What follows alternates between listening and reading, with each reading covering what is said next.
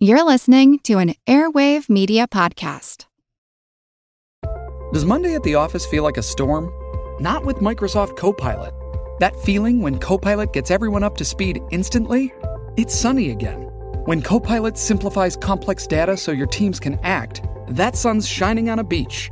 And when Copilot uncovers hidden insights, you're on that beach with your people and you find buried treasure. That's Microsoft Copilot. Learn more at Microsoft.com/slash AI for all. I'm Jason Palmer, one of the hosts of The Intelligence, The Economist's daily current affairs podcast. The Economist's award winning shows make sense of what matters, from our special series on China's president to our weekly podcasts on business, technology, and American politics. Our journalists provide fair, in depth reporting on the events shaping the world. To get the annual plan for less than $2.50 per month, search for Economist Podcasts Plus to start listening today.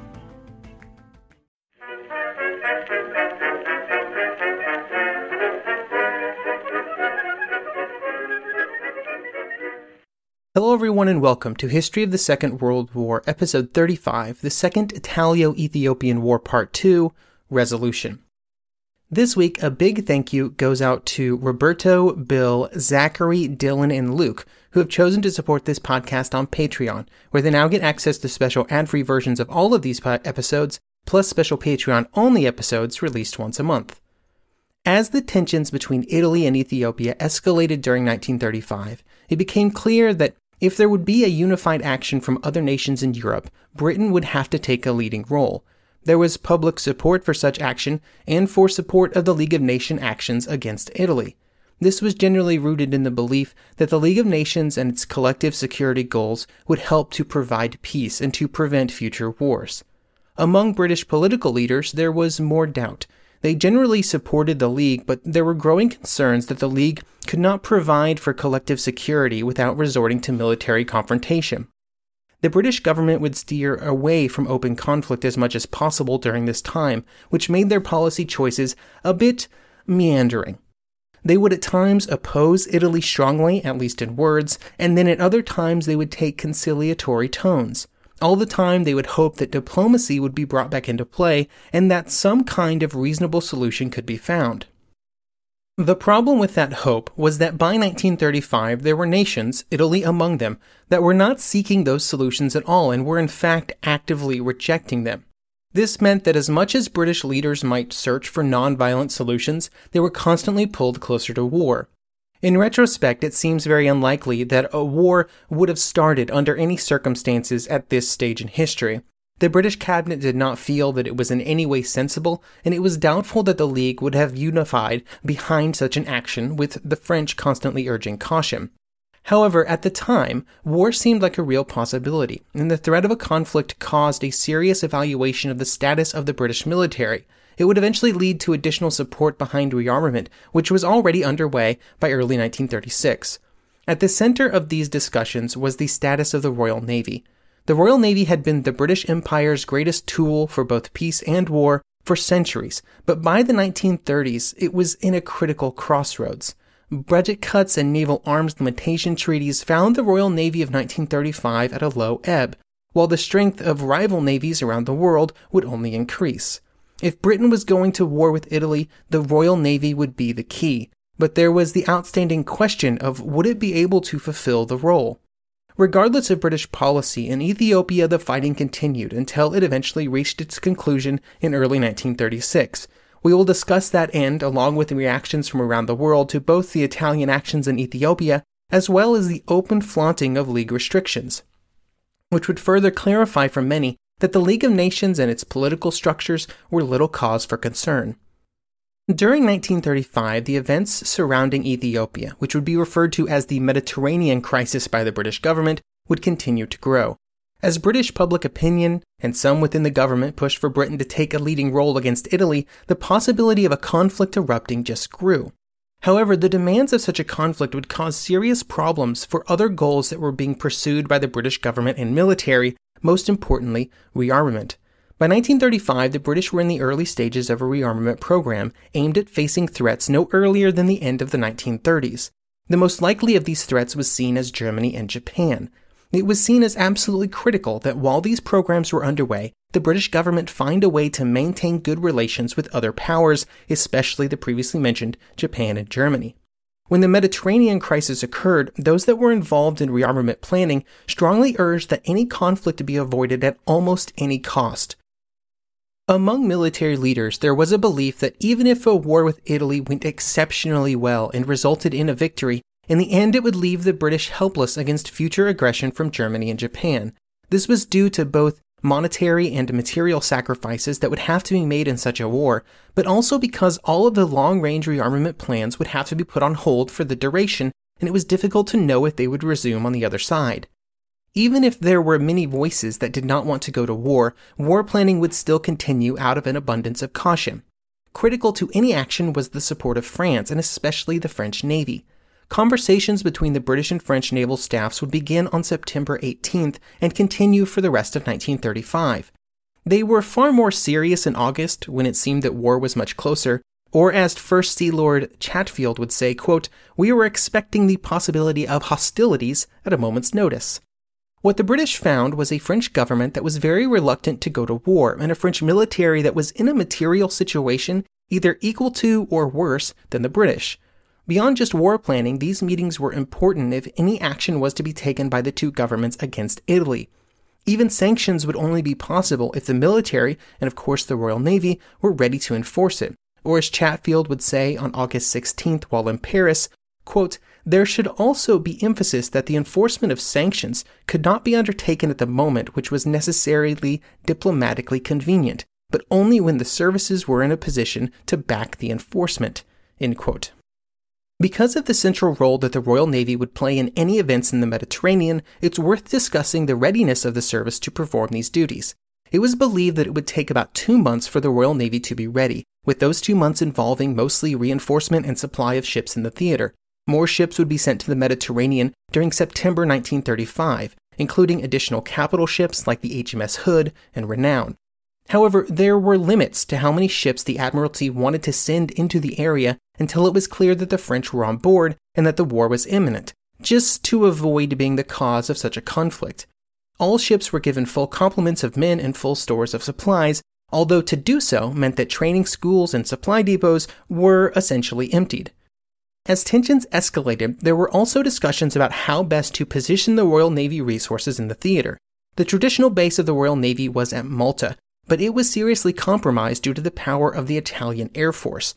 There were also concerns about the defenses available for the two vital areas on either end of the Mediterranean, Gibraltar and the Suez Canal. Therefore, instead of basing the fleet at Malta, the Royal Navy presence in the Mediterranean would be split between Gibraltar and Alexandria. Alexandria was not as nice from a harbor perspective, and it lacked repair facilities, but Malta was seen as simply too dangerous, and so it was the next best option, and the fact that it was in Egypt with the Suez Canal was also pretty handy. Even if the fleet had to be moved, morale was still high, as Admiral Sir Guy Grantham would write, quote, I am quite sure everybody in the fleet felt more than ready to take on the Italian fleet and was confident that the fleet would be successful in any sea operation that took place. Morale was high. Little was then known about the efficiency of anti aircraft defense. The Italian bombers were based a great distance to the west, and they were not considered much of a menace. The concerns about Italian air power would be even more critical if a war did begin, because the plans for the Royal Navy were to take offensive actions, moving against Italian forces to prevent them from maintaining any control over the central Mediterranean. These actions would almost certainly bring British ships within range of land based Italian aircraft. The relationship between air power and naval power was not well understood in the mid 1930s. There was a firm recognition that aircraft were a threat, and so naval vessels were equipped with anti aircraft guns. But there was also the generally held belief that air attacks would not greatly hinder fleet operations. This was considered to be true even when facing the Italian Air Force, which was at this point in time one of the best in the world, at least from an equipment perspective. One word of caution on this topic it's important not to backdate the incredible influence of air power on naval operations that would be seen during the Second World War.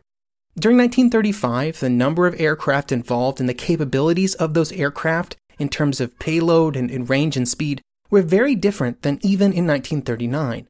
By that point, another generation of aircraft and the associated technological improvements would be present, and there would also just be more of them, as many air forces went through large rearmament and expansion programs. However, even based on the threat level present in 1935, the Royal Navy had some problems. The most important of these was a simple shortage of ammunition. The statistic often provided at this point is that the ships of the fleet had less than half an hour of anti aircraft ammunition if they were firing full tilt. This is, of course, a bit misleading because anti aircraft fire was often done in very short bursts, especially at this point in time when the range of the typical armament was quite short. But it also was not a great situation to be in with a possible war on the horizon, and anti aircraft munitions were not the only type that the British were desperately short of. There were even discussions about talking with the Germans to try and purchase some ammunition, although those efforts did not progress very far. All of these force reallocations and ammunition discussions were completed as quietly as possible, again out of concern that the Royal Navy might be the one to cause some kind of hostile incident uh, with Italy. At the same time, the plan was put in place should a war begin, and it was kind of solidified at this time. The first task was to close off the Mediterranean to Italian shipping, which was relatively easy given the position of Gibraltar and Alexandria. Beyond this, there were problems, because while the Royal Navy had more large capital ships, they were also split with the Italian Navy in between, putting the British forces at risk of being defeated in detail. The Italian Navy had also been fully mobilized on July 1st, which the Royal Navy was not able to do until war was far more likely due to the political ramifications of such a move. This meant that there were no more Royal Navy ships that could be sent without some time for them to be manned, supplied, and sent. The Italian Navy also had the advantage when it came to small ships, including destroyers. This destroyer advantage would just increase in early 1936 when some German submarines were delivered to the Italians. This gave the Italian Navy the ability, should a conflict begin, to interdict British shipping even in areas where they felt safe, like the Red Sea. There were, in fact, Italian submarines in the Red Sea in late 1935, which the British were not aware of, and which would have been a serious and damaging surprise. The greatest advantage for the Royal Navy would always be their allies in the area, though, and in mid December, the information given to the naval leaders in the Mediterranean was that, quote, it appears that our forces will have to sustain the war for a non inconsiderable period. France and Greece, however, have promised full use of their ports, and Turkey is willing to cooperate with her limited air force. Now, having both French and Greek ports available was certainly useful, although cooperation from those nations beyond that was a bit unknown, with neither government ready to make definitive promises that might bring them into a war. All of this kind of broke apart in 1936 during the Rhineland crisis, when British attention was pulled elsewhere and the Royal Navy made it clear that it did not have the forces necessary to continue its role in the Mediterranean and to protect the British home isles from German attack.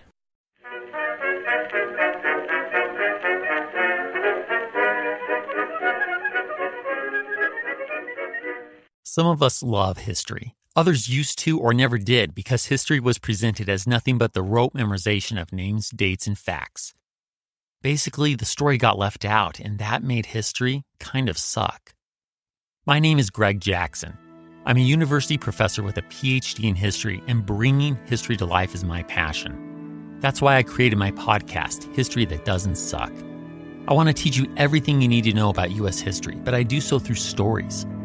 Let me tell you about George Washington begging his men not to mutiny against Congress, Clara Barton saving Union soldiers amid enemy fire, enslaved Frederick Douglass risking his life for liberty, and about so many other figures as their real experiences make industrialization, social movements, and even congressional debates and tax policy come to life. Subscribe to History That Doesn't Suck today and join me, Professor Greg Jackson, every other week for a new episode, where I'd like to tell you a story.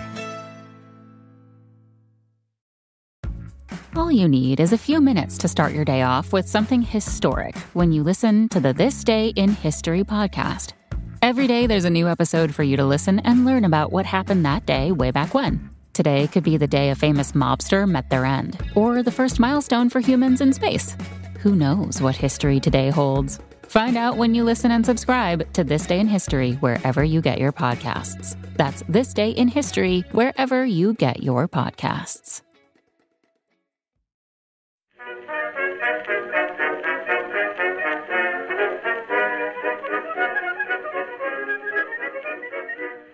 One of the reasons that the Royal Navy became so important to the overall structure of the crisis was because just five days after the Italian invasion of Ethiopia, the League of Nations released an official statement condemning the action, and then on October 9th, economic sanctions were announced.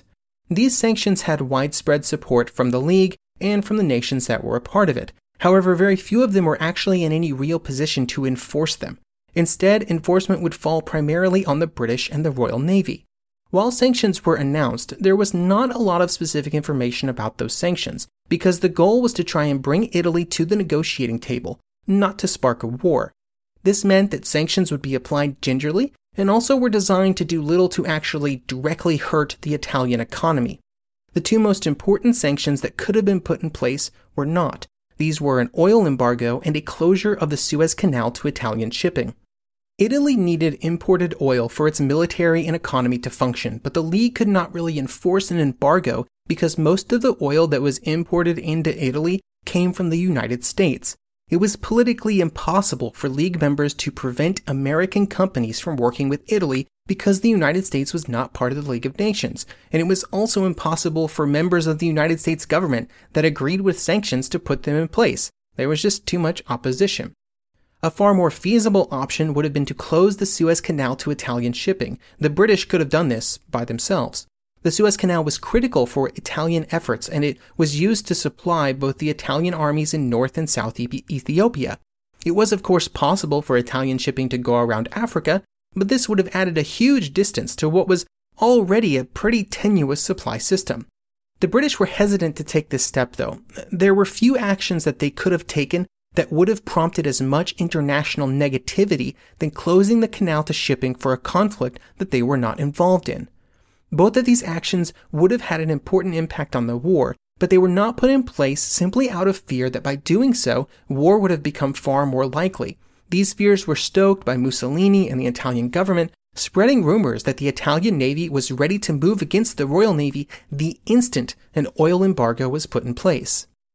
Of course, while the British leaders did take some responsibility for meeting Italian aggression, another part was played by France, even if it manifested in a very different way.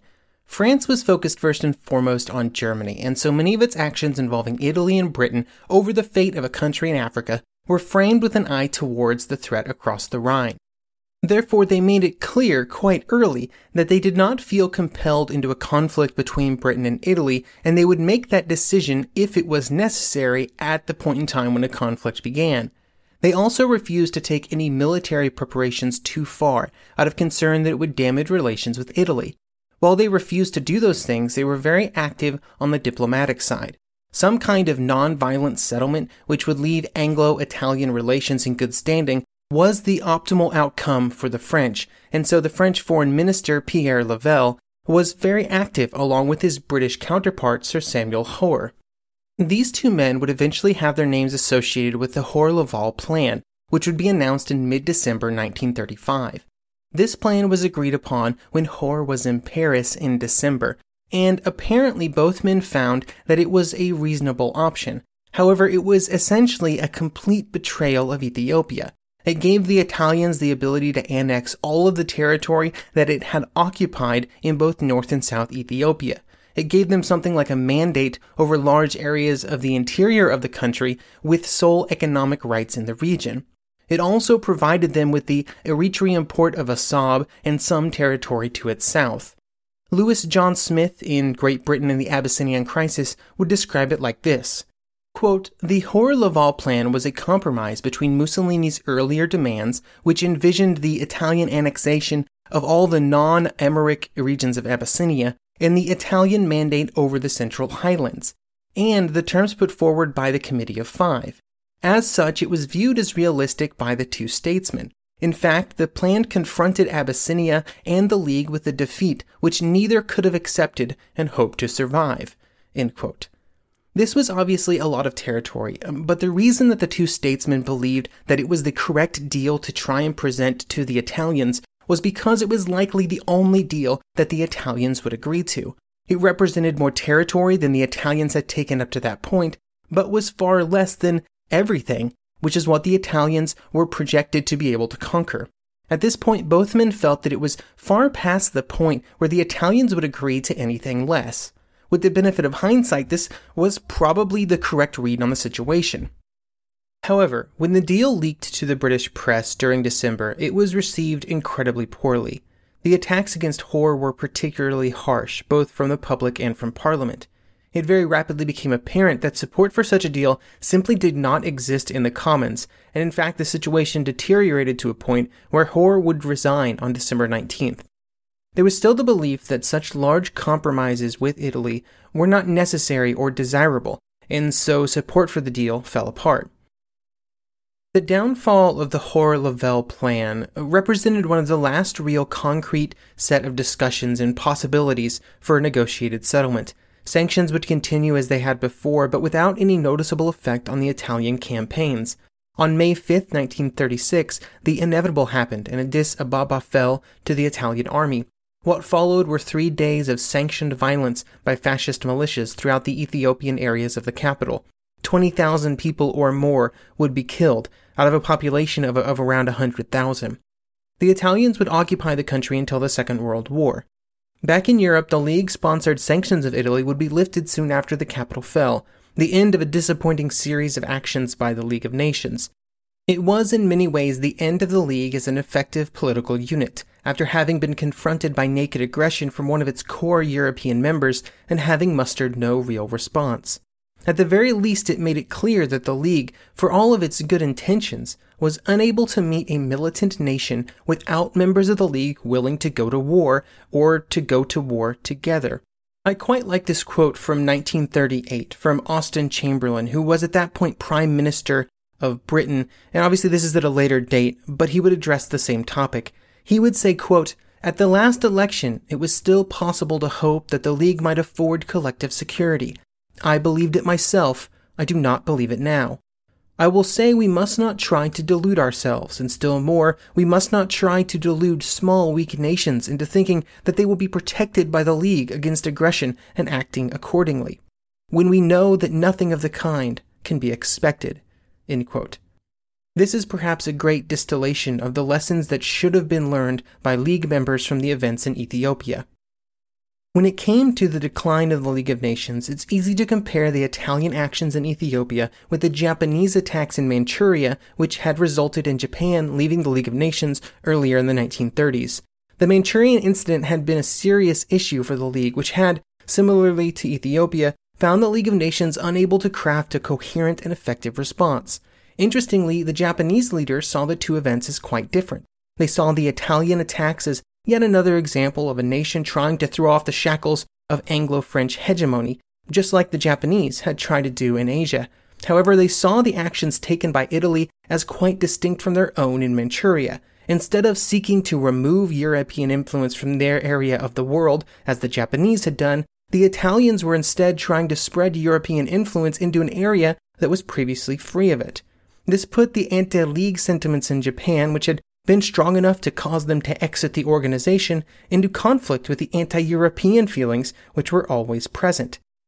In the end, Japan simply maintained strict neutrality and did not go along with League sanctions. The two countries would later be brought closer together due to their two imperialist actions when they both diplomatically recognized the other's new territories in the late 1930s, the first nations to do so.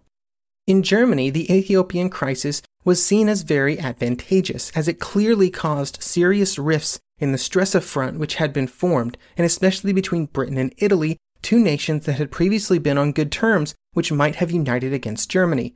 In some ways, Germany and Italy both benefited from the actions of the others at this time.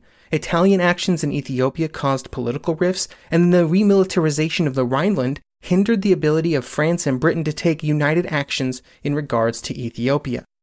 For Italy, the goals of African expansion had been realized in Ethiopia, but the result was less than what was hoped. The cost of the campaign was much higher than expected and left national finances in ruins. Some estimates put the cost of the campaign roughly equivalent to an entire year of Italian national income. This would cause serious problems for Italy as it found itself with a military that needed drastic refitting and would soon need a huge technological boost as other nations in Europe were just then starting massive rearmament programs. The lack of ability to invest at this stage would leave the Italian military behind in the arms race that would occur before the beginning of the Second World War, something that they would never recover from. Obviously, the Italian leaders knew that their actions would be costly. Military campaigns cost money. But the hope was that they would be able to extract economic benefits from the new territory through exploitation of Ethiopian resources.